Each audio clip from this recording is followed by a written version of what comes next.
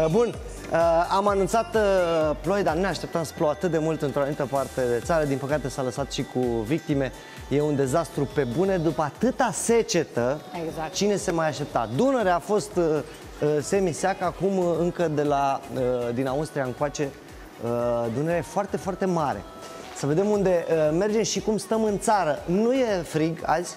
Ba, este bună dimineața din nou tuturor. Pot să spun chiar că seara am avut primele ninsori din acest an, la altitudini mari, evident, la munte. Și tocmai din acest motiv, în continuare, vremea este foarte rece, mai ales dimineața și seara, în majoritatea zonelor din România.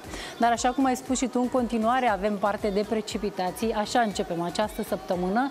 Chiar vom avea în continuare acest cod portocaliu de averse torențiale și importante cantitativ. Vorbim de 40 până la 60 de litri pe, de apă pe metru pătrat pătrați și acest lucru se întâmplă doar în delta Dunării. Vom avea în continuare și uh, cod galben de precipitații însemnate în Moldova, în Banat, în uh, vestul Transilvaniei și vorbim de 20-25 de litri de apă pe metru pătrat și în celelalte regiuni vor fi precipitații, dar nu la fel de însemnate. Temperaturile au mai crescut puțin în comparație cu ziua de ieri, dar în continuare vor fi sub normalul perioadei și ne vom bucura de razele soarelui doar prin sudul teritoriului pe parcursul acestei acestei zile. Pentru mâine, de asemenea, meteorologii păstrează cer mai mult acoperit și precipitații pe aici pe acolo, dar măcar mai punem câteva grade în termometre, astfel cele mai ridicate se anunță prin sudul teritoriului și vorbim de 24-25 de grade.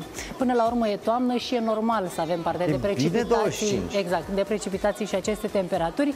Nu este neapărat normal ce se întâmplă în Moldova sau ce s-a întâmplat, dar sper să trecem cu bine peste aceste situații.